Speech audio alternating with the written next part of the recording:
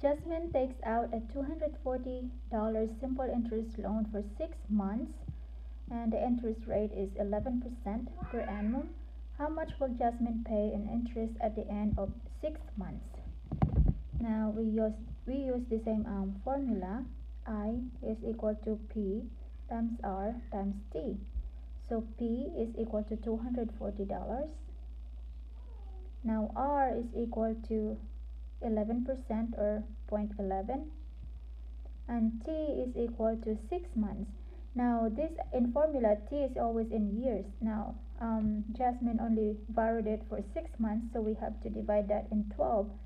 So T is equal to 6 months over 12 or this is equal to 1 half.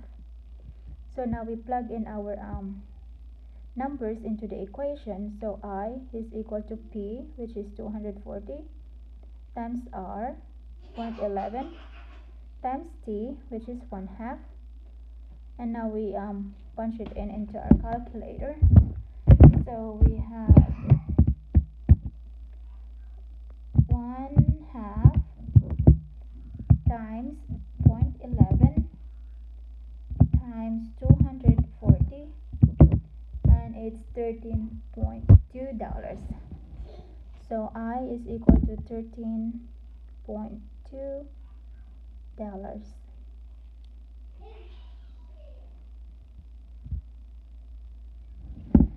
So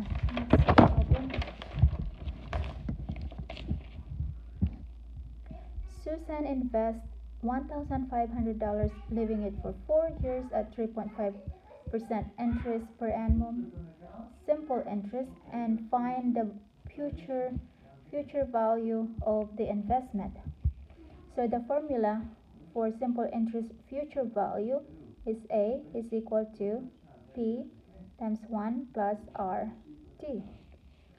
So we list our parameters P is equal to 1500 R is equal to 0 0.035 and T is equal to 4 years. So now we plug it in. So A is equal to 1500 times 1 plus R 0 0.035 times T which is 4 so now we plug it in um I mean punch it into our calculator.